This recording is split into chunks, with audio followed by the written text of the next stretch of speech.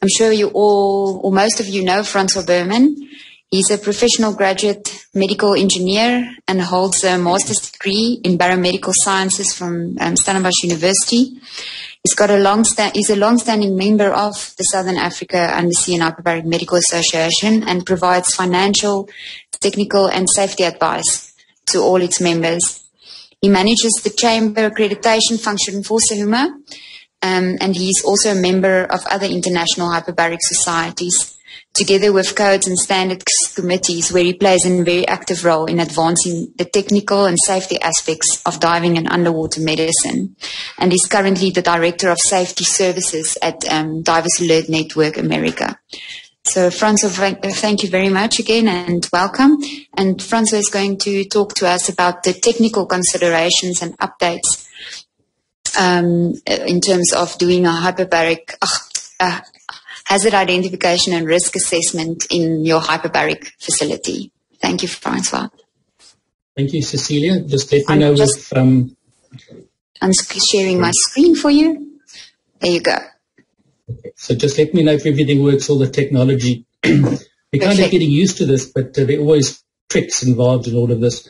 So firstly, I'd like to say hello to all of you because um, obviously we've all worked together over many years. Um, and I've been here in isolation in the US for the last uh, five or so years. But fortunately, you've allowed me to keep engaged with SAUHMA, and it is one of my passions because it's really between that and, and Frans, it's kind of launched me into this career that I find myself in at the moment. So I'm going to share with you kind of the progress as to where we've, we've um, moved along from early days at a SAUHMA committee meeting in the 90s where I was asked to to come up with some way of, of measuring or determining, you know, safety in the hyperbaric environment. And as Frans would know, when we started the Eugene Marais uh, facility, gosh, all those years ago, the question that was, was asked actually of Frans, and then he flipped it on to me, as usual, was, you know, will this newfangled technology add a dimension of safety to the Eugene Marais Hospital, and the safety people were, you know, quite concerned because they knew very little of what uh, this was all about. And from that, we developed this risk um, assessment, HIRA, as, um, as Cecilia said, hazard identification and risk assessment process to then determine whether these facilities, um, as they were kind of developing in South Africa, were, were, safe. And, you know, safety is a very relative term and a, and a qualitative term. And what we've tried to do over the years is to add more, you know, quantitative elements to it that one can get a good feeling or at least some form of a, a scoring or magnitude as to where the safety is. And of course, at the end of the day, nothing is 100% safe. But what we can do is mitigate those high-level issues and then hand it over to the staff, the operational team that will ultimately determine the safety of the facility. So I'm going to share my screen, which hopefully you can all see. Um, Cecilia, please interject if some of the technology lets us down. My mic is sometimes a bit variable here, and then of course our connection is not always perfect. So I'm going to rely on you to chip in and tell me if things aren't working.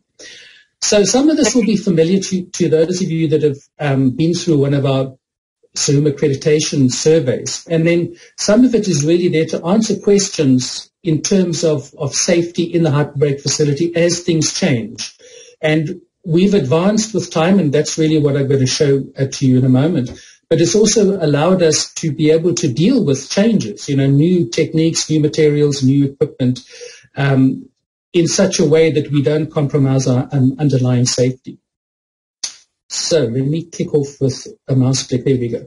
So for those of you that, that haven't been through this, and I don't think there's anybody that I'm speaking to today, with maybe one or two exceptions, that doesn't know what risk assessment is. Because whether it's in a hyperbaric facility or in your diving, diving medical practice or your general practice, you have to risk assess your patients or whoever you're assessing to determine at the end of the day when it comes to treatment, um, you know, what, what is the benefit, what are the complications, and where does the balance of risk actually sit because you're ultimately responsible for the safety of your patients.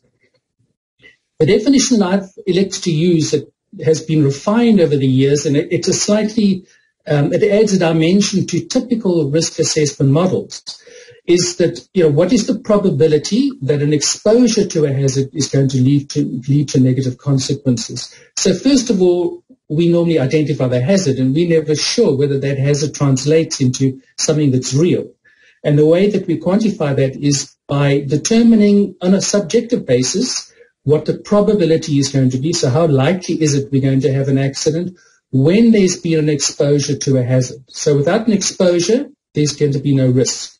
And then there need to be consequences as, as a result of that. If the consequences are irrelevant, then we really don't have a risk. and I'll, I'll, recap some of this with a, with a new graphic that I came up with to try to make it a bit more um, instinctive, intuitive as to how to then score the risks. So each and every situation that we find ourselves in, whether again it's something technical, something operational, needs to be identified in terms of the hazard, and then we need to assess whether that hazard is actually a risk or it isn't a risk. And from that, we can then, you know, once we know we have a risk, we can determine the magnitude, how important is it, and whether we need to take immediate action or we can address it over time. If, can it actually be mitigated? Some risks we just have to live with. You know, we have to deal with basis of, of awareness and operational um, attention and focus. And then once we've mitigated it, is that mitigation step effective? Again, this generally refers back to operational issues, training, awareness of staff. But sometimes we have failures in the system. And a, and a good example in a hyperbaric environment would be people ending up with contraband in the chamber or in the chamber vicinity, you know, things in their pockets that shouldn't be there. iPhones and, and um, other types of cell phones are a great example you know, they get locked up. They should be locked up. The staff carry them around, and then the next thing you know, some staff member has left it on the bed. The bed goes into the chamber, and then you hear the phone ringing from inside the chamber. Not not an ideal situation. So just a really two or three slide recap on how this works. So we start off by walking through the facility through our procedures, identifying our potential hazards, and in our initial Zoom assessment, this is really what we try to help you to, to do so that we would have addressed probably 80 to 90% of, of the issues of concern. But they're going to, they're going to come up with new staff members, um, you know, new techniques, new things that we're doing. So what we do is we look at the probability and, and while some of you might think this is too subjective, when you sit down together, and you should never do this alone, you should have your medical doctor leading the process, the medical director, and then have everybody that's involved and that could have an impact on safety. So it really should not be limited to one person.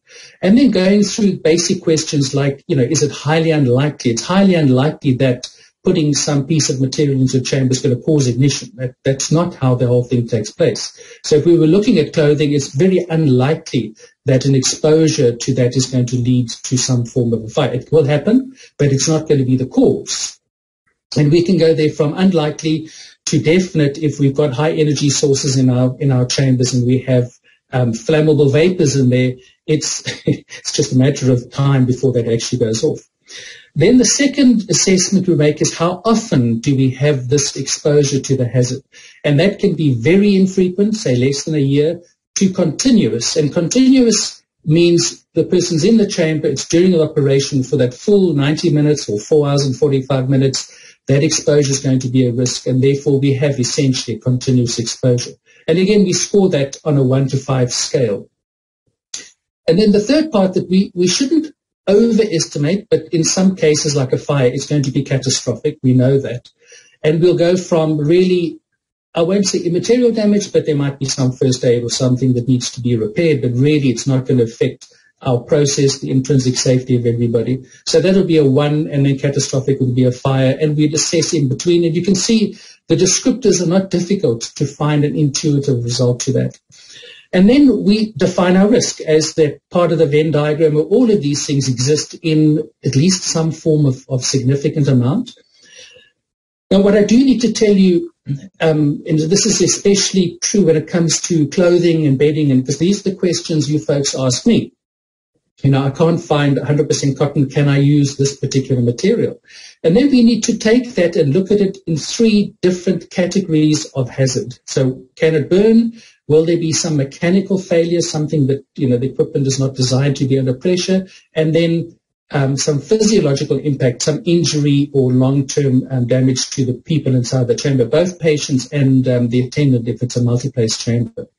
And that scoring system then, so it's, you know, up to five by five by five and a, a lot of scores in between, give us a relative magnitude between other risks and where that particular one sits. And uh, I have a table where I've kind of laid out these figures. And again, those of you that have been through a facility assessment know how we score these things. And then we focus obviously on the highest levels. So anything above 100. So this is relatively arbitrary, but when you look at the descriptors, you'll see that the way I've scored it is pretty consistent. So anything above 100 is an extreme danger. And if you come across that, if something happens, if, you know, there's a cell phone in a chamber and you're dealing with some form of um, alcohol swab or something that's flammable, because there's no reason for, for many of the things we do to say no, what it means is we have to take really stringent steps to make sure that we then don't, don't have a fire. And I keep coming back to fire only because it's the, the perpetual um, reminder that we have that we don't always get things right. So if you figure that out, then we obviously need to stop that activity, that, that, um, that treatment immediately. And when you look at what I'm describing, you'll realize you can use this in almost everything. So when you're determining the risks to a diver in a current, the diver's training might not be ideal. The surface vessel is not ideal. Exactly the same ways of evaluating the risk um, are there. Level four would generally mean where the responsible person, and I'm always going to come back to the doctor because we are talking about a medical treatment in hyperbaric medicine, and the doctor therefore has the final say. So if the doctor decides that we could live with this for a short period of time. We just need to heighten our awareness and take a couple of other steps. Then one could continue, but it's not a situation that you'd want to perpetuate, especially if you're going into a more routine type of treatment uh, system. Then the medium system, um, categories where most of the things that we're concerned about would fall. And we would like to address these things certainly within budget and, and you know, practical constraints because the outcomes will still be some degree of injury and some equipment damage. They won't be catastrophic or fatal, but we don't want those, those disruptions. So we want to put mitigating steps. Again, could be training, could be some technical thing, just to make sure that we don't end up with, uh, with an outcome that is undesirable. And then we move down to the lower levels where ideally with a low level, we would like to, and it should be easy to mitigate that and remove it, or less than 10, which is a very low risk and all I advise you to do is if you determine that the risk is low, um, I'm trying to think quickly of an example, nothing's coming to mind, that you at least record that we found this, we evaluated, our scoring was less than 10 and therefore we decided to live with it. And this all comes back to if you do get into trouble one day when something does go wrong and you need to defend yourself, you can show the process you went through, the decision you came to. We, none of us is perfect. None of us could foresee, you know, very extreme things happening, but at least there's a beginning of a defense. So this process um, that we, we use is obviously risk assessment is nothing new. And for those of you that have been around a while know that it's something that we've practiced over the years in various other walks of life, especially in, in commercial diving. But in the operational context of a hyperbaric facility, you perhaps recognize the different versions of the risk assessment guide. We're in the, the sixth edition now because I need to update these as we learn things and as our codes and standards develop and as we have accidents. Sometimes I will remove the importance of that particular or downgrade the importance that particular has. In other cases, obviously, um, you know, heighten that level because we've seen that what we thought wasn't an issue has actually become an issue. So this is a very live process in terms of the guide that many of you have seen um, over the years. And when I say many of you, I mean those of you involved in um, hyperbaric medicine. Okay. So let's now look at the codes and standards. And Cecilia mentioned that I sit on, on many of these um, organizations, sometimes directly as a committee member and sometimes indirectly where I'm asked to give advice, say, on the European codes when they're developing some of those. So we have a range of codes, and I'll put these all together for you in a moment that we refer to, whether it's the US-centric ones, whether it's the Eurocentric ones, whether it's based on international, they all ultimately give us a degree of guidance, but they differ. They're not the same, um, they're not addressing the same things. We do evolve these things and we have regular review cycles. Every three years with the US documents, we revise these, same as the risk assessment data, revise it every three years as technology changes, as we learn things as we go down with time. And you can see with the NFPA, which is kind of the longest lasting of all, these, all of these. It started in 1968 as a, a tentative standard on its own, and it was then incorporated in the 80s into NFPA 99, which is a um, standard for healthcare facilities or code for health, meaning the hospital, the clinic, wherever we're operating within. And we're currently in the 2024 cycle. So 2021 is out there and we're now evaluating the 2024. And it's going to be significantly different to what it is now because technology has changed in terms of new things we're introducing, but also in terms of how we can improve the safety that it's designed into the process and doesn't become a concern to you. I'm going to just turn off now, contour of the video. I wanted to remove the video just to improve the bandwidth here. And of course, we've taught our engineers as we improve the codes, we uh, make it easier for the engineer to apply advanced techniques to, to what could go wrong and prevent that from happening.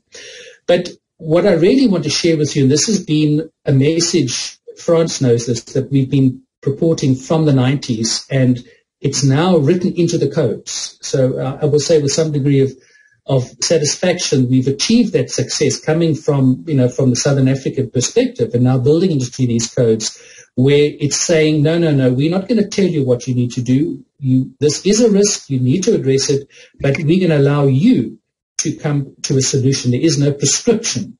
You need to analyze it and come up with what you think is going to be suitable.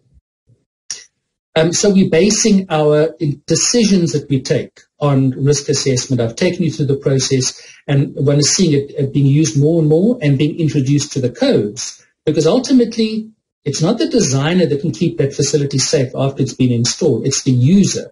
And most of our codes and standards don't account for the user in the process.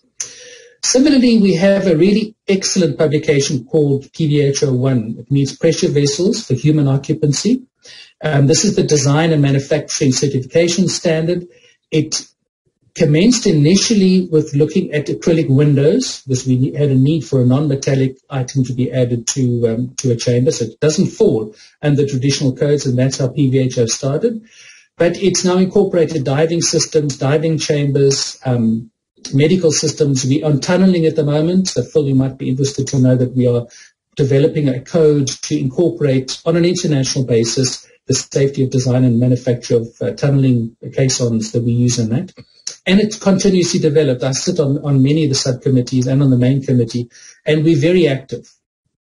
And Charlotte might add to you that I'm very active in, in bringing up, you know, really pertinent questions and trying to get this move away from prescription because prescription is based on empirical findings and actually it's based on, I hate to say this, but the ego and the, the kind of degree of importance that previous people have put in rather than it being a intelligent discussion coming up with a, a real result. And PVHO has, has um, kind of advanced from before we were using glass for windows, and we know that's not ideal. So 1977, based on a lot of research data, they published um, PVHO1, and at the moment we're in the 2022 cycle. The 2019 is the current edition. I, I'm very proud of the work that's done because it's advanced tremendously over the years. It, it covers submersibles too, so any form of pressure vessel for human occupancy.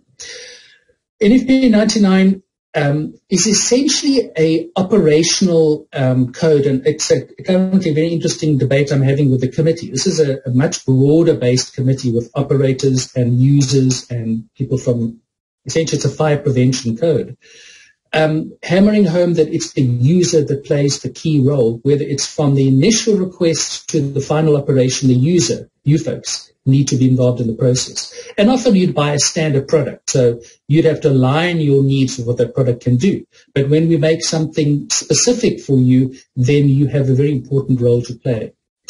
In the code, we had this term safety director, which has always stuck under my skin because I don't really see the safety person as playing a significant management role. They are the coordinator, getting together the doctor, the safety team, all the operators, tenders, and so on, making a decision that balances what the doctor would like to see in terms of a better outcome versus the operational safety. And so I have succeeded. The, the, new code will remove the word safety director, that is if the public agree, and replace that with safety coordinator because there's only one director at a facility, and that is the medical director when it comes to safety. There can be a technical director looking purely at technical issues, But in safety, it should be a committee um, consensus decision. And then lastly, yes, I've stuck my neck up again. So South Africa is, the South African is sticking his head out. Um, I want to completely revise the electrical and the fire aspect of NFP 99 because they are based on history. And as I dig back in history, which I've been doing, the data for fire deluge is entirely empirical based on non-relevant research done way back in the 60s. And I found the original um, documents, dug them out from various research institu- institutions and show, I'm showing them that essentially we picked a number and that number varies between one and seven in terms of the amount of water that is required to be deluged. The European system, I'm completely, um, complete fan of, just so that you know, most of the time um, in the States, they don't want to know what Europe is doing, but it's a, it's a um, non-prescriptive. It basically says to the, to the designer and the manufacturer, prove that the fire deluge system will put out a fire rather than give me this amount of water. That's really what it comes down to. And I'm pretty adamant that we change that from prescription to what is actually going to work. For those of you that know, we had a standard here in um, South in South Africa. They're in South Africa, but I remain a South African. SANS 10377 used to be SABS 10377, but it's been withdrawn because we've never really revised it and the international documents really cover what we need. And with 10 or 11 facilities in South Africa, it's really very difficult to get people together to make changes to that. And in most cases, we would then be repeating what is now being introduced into the codes.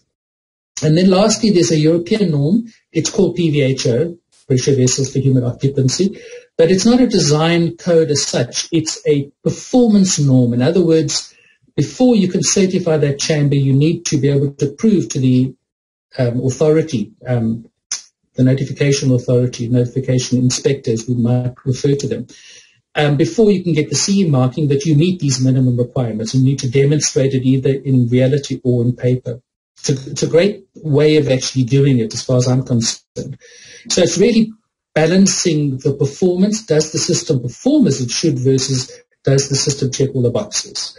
And we all know that checking boxes doesn't make something safe. It's actually got to do what it's intended to do.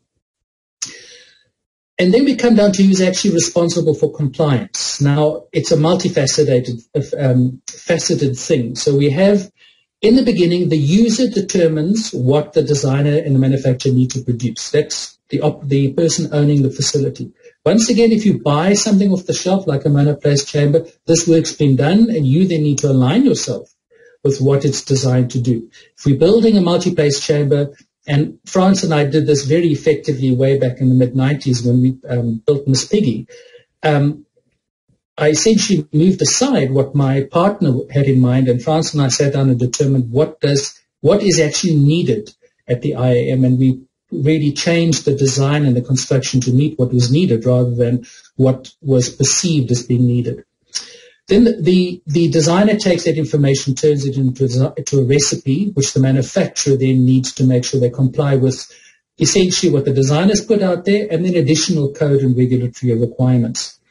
And then it actually turns over to NFP 99, or if you want to use the risk assessment guide, which we have, it encompasses all of this. And the user then takes over responsibility. And clearly one basis or has a premise that the manufacturer has done the correct job. But we very, very rarely, if ever, have a manufacturing flaw unless we are buying from a manufacturer that shouldn't be in the business. And we had a catastrophic failure early this year of a monoplace chamber that came apart. It came apart at the seam in the tube. Designers, we know, those of us on the codes, you never join a tube by taking a plate and rolling it over. It's got to be molded in position. And it was an accident waiting to happen, and it happened and killed the person inside the chamber. So uh, what I want to do now is, you know, you'll hear us talk about these codes and keep referring to them. And for, for you, it might be somewhat of a mystery. So let me just show you how all of this fits together. So we have our code for the hyperbaric chamber, which will need to meet some or other specification. In Europe, it's the pressure equipment regulation and the medical device directive purely focused on the, on the structure of the chamber. In South Africa, we have SANS 347, which is what's called a conformity specification. Huh? Interesting. Um, that essentially defines the risk and then requires the um, the, the designer to, to, to categorize that chamber in a certain way. And chambers normally fit into the same risk. It's interesting. I can see a blue line on the screen, which is not mine. I'm not quite sure where that comes from and why it shows here.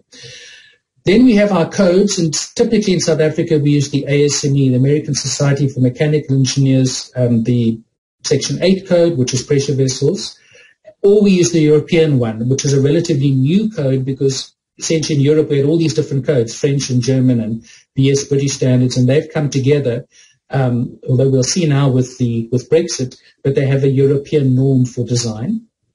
The window itself, the acrylic window, whether it's the tube in the monoplace or the windows in the multiplace, those are designed, manufactured, and certified to PVHO1.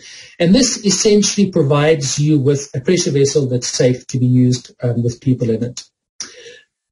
The second level is the system, which means the the chamber together with the compressors, the air conditioning, the medical equipment, electricity that's supplied to the chamber. So it's the, the chamber system itself, and that is partly designed to PVHO1 because we've built on that standard, and partly to EN 4931, that PVHO standard. And in South Africa, it's obviously the medical directive that is being used um, is run by the by SAHPRA. The we're still at early stages of that, and it'd be difficult to get a hyperbaric chamber currently through the medical uh, device directive that South Africa has to approve a medical device because it's just so varied and it's such a low focus item. But ultimately, we're going to need to get ourselves in that directive, or we need to convince that um, that regulation to accept what is used in Europe and in the US. And this system is really defined by NFPA 99 and it covers pretty much everything. The room in which the hyperbaric chamber is installed, then the lighting, external and internal monitoring communications, pretty much everything else. And that really makes sure that your hyperbaric system, your equipment, is not only safe, but it's going to do what it needs to do, be reliable, and allow us to achieve the function that we intended to, to have. This all then fits into a facility. And here in, in South Africa, we use the SAUHMA accreditation program, which I think is one of the best around because it looks at the entire um, hyperbaric operation. And we document that in a risk assessment. And other countries has done very, very prescriptively. In the US, we have the, um, the UHMS accreditation program. It's a great program, but it's essentially a checkbox that you go through 100 and 200 and something questions which is way too much to translate into actual risk assessment. It's, they've made those decisions. What are the risks? And my frustration with it is it basically demands that every chamber has certain aspects, even if it's not going to ever use them and actually have that risk. And this level is where we bring our staffing in. So it's the entire management, maintenance, um, operation of the facility. Make sure that we have good quality hyperbaric medicine and that the facility in which we're working in, you know, in terms of operation is actually safe. The, the two previous levels don't build in operation. And ultimately, we're part of a healthcare facility. So, you know, there are a in South Africa different accreditation programs, and they go to look at the hyperbaric facility.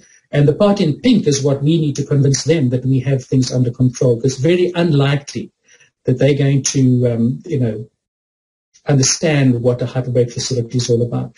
The Joint Commission in the US has started to uh, build in a lot of hyperbaric-based questions, but even they will refer back to um, or defer to NFPA 99.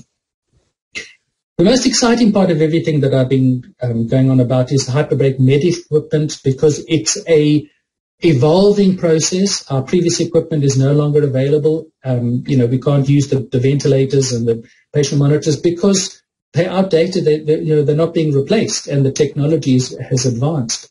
Fortunately, certainly in the last 10 or 15 years, the equipment is intrinsically hyperbaric, hyperbaric safe. Okay, kind of being inverted commas, but we still go through the same process, but we're seeing that the power consumption is much lower. We are using lithium-ion batteries, but we know how to deal with those in the safety aspect. And you know, people go on about lithium-ion batteries, but pacemakers have a lithium-ion battery. And have we ever heard of a pacemaker, you know, bursting into flame at a person's chest? And the answer is no. So as long as we follow the rules, that it's not the issue. And in fact, in NFPA 99, we removed the prohibition for lithium-ion batteries and said that you will do this as you would do anything else. Um, the circuitry is being sealed so that it doesn't get damaged by fluids and, and, you know other interference. It's what I call potted. It's encased in some form of a resin, and the LEDs, in other words, the illumination using for the the instrument has gone from incandescent globes that are heat sources to LED um, illumination. Again, much lower power, much lower heat. And our integrated circuit chips, the, the kind of the brain of the operation, has got you know almost no transistors, which again are heat sources. It's all integrated into this little black chip that does gazillion things at the same time. So our hyperbaric products per se are on the decline. We can't buy things that are hyperbaric um, approved. And even in Europe, and Phil would know this, that we've lost some of those devices, um, pumps and so on. They've gone off the market because the market's just too tiny. You know, we we want to try and convince them how important it is because we have a need for them. But the manufacturer's saying there are so many hoops to jump through now that we're no longer prepared to actually go through all the testing for such a small um, outcome. And if you look on the right-hand side, essentially what we do is we do risk assessment and we determine how can we make this stuff safe for operation and the top is a pretty old chamber, and they're very adventurous. uh, there are a couple of things I could show if we had time in there that would make me really, you know, want to change the way they've done it, just in terms of safety. And at the bottom, there's a very, very unstable patient going into a monoplace chamber. That's not in the US, that's in Costa Rica, where we have a colleague that runs an excellent facility. And, you know, he's been through all this before and he knows how to make it safe. So we have these challenges. Sorry? somebody have a comment? We have these challenges with new devices coming on, and I, am going to flip through just a couple of slides just to show you what they are. But they range from blood glucose monitors, continuous glucose monitoring, to cochlear implants and new hearing devices, new cardiac devices, and we need to go through this process, and it's a defined process that works. We do in the US, and I'm mentioning this as an example because hopefully we can do the same in other countries. We have this bear that hangs over, and every every medical director, you know, when they come to they come to me very often for these questions, or they come to the UHMS for the questions, and they say, "We want this new device, we want you to make it safe, but it needs to be FDA approved. It needs to be approved as a medical device," and that's not possible. It's not going to happen. And I always say, "Well, why are you asking me the question?" If it is, FDA is the Federal uh, Drug Administration and Food and Drug Administration in the US. If the manufacturer isn't taken through the process, there's no ways we can take it through the process. It's an incredibly expensive and tedious process.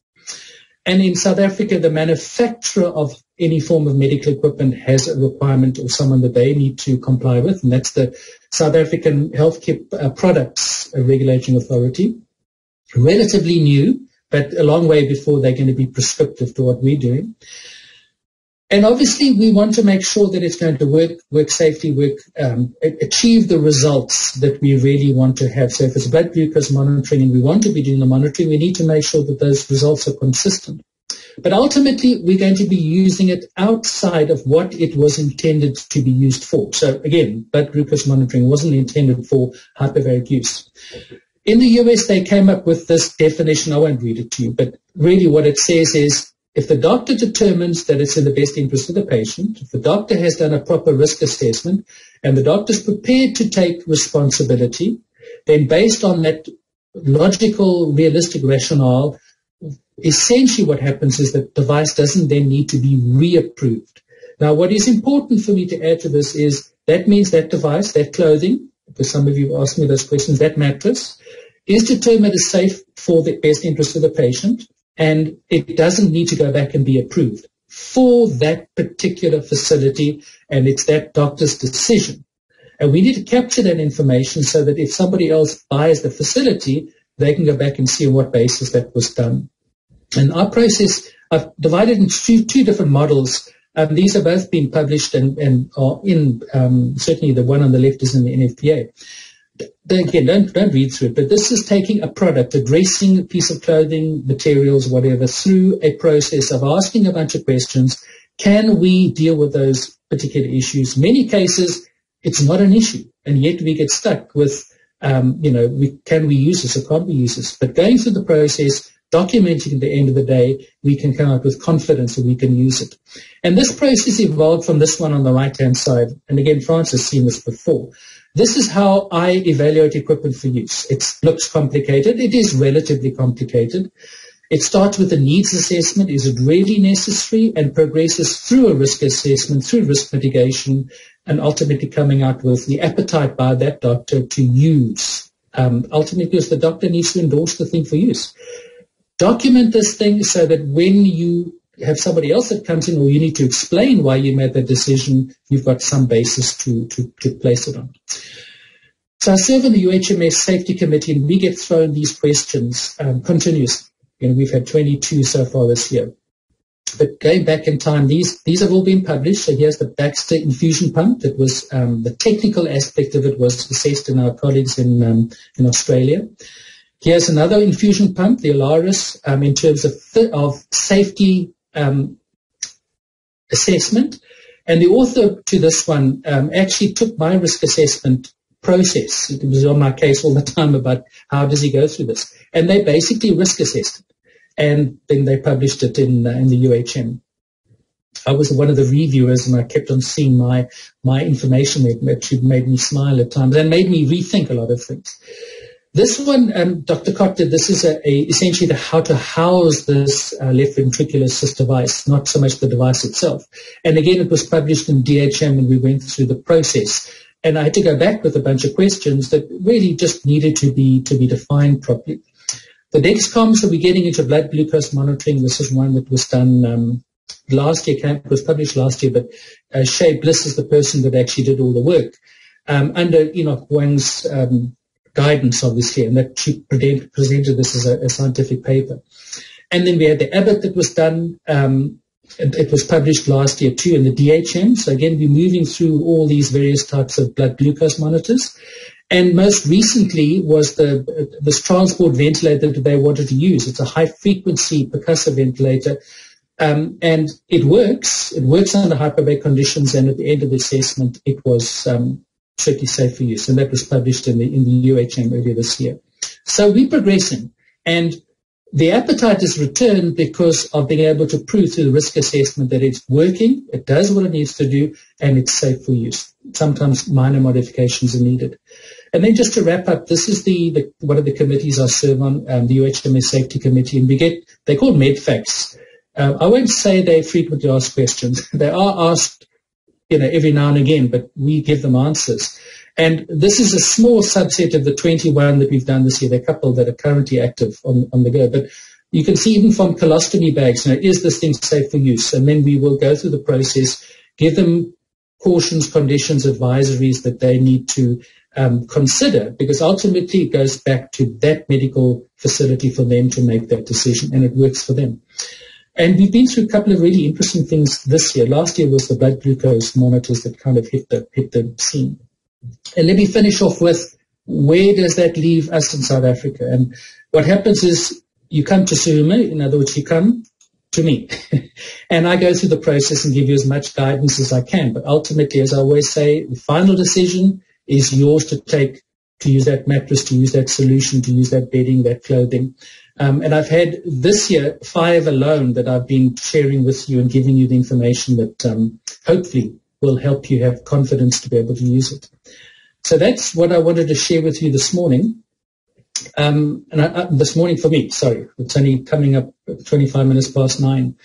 So would you like to ask me any questions? I know, um, I know this is technical and, and I know that sometimes you medical folks don't want to get involved in this, but I hope I've presented it in such a way that you realize you have the key role. And it's processes like these that allow you to play a role in this decision, knowing what it's all about. Sure, you might need some technical input, but that's easy to give.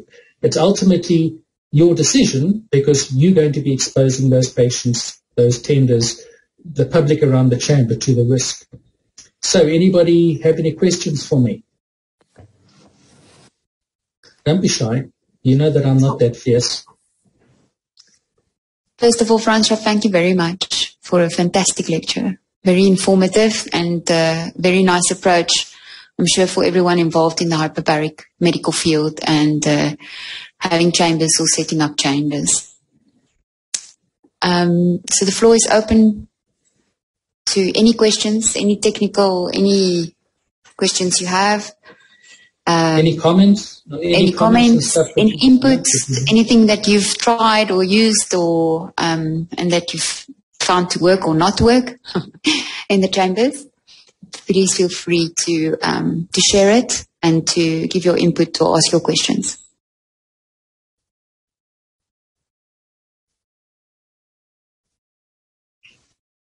I've either stunned them or I've asked answered their questions, right, Cecilia? Yeah, it looks like you've covered everything, Francois.